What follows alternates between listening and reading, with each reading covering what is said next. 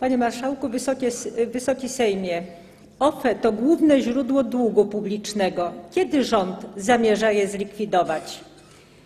Kiedy całość Funduszu Pracy wróci do ministra pracy? Ile środków w budżecie państwa na rok 2013 jest na S19? Jak rząd uzasadni przyjęcie kryterium docho- dochodowego w pomocy społecznej na poziomie skrajnego ubóstwa?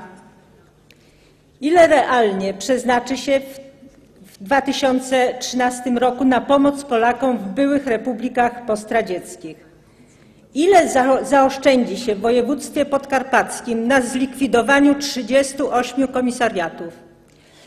I mam jeszcze takie pytanie do rządu. Kiedy rząd zamierza, zwiększyć nakłady na ochronę zdrowia? Bo przecież nie wystarczy wykreślić z kalendarza grudnia, żeby pozbyć się kłopotów finansowych w systemie ochrony zdrowia, co proponował, zdaje się, premier Tusk.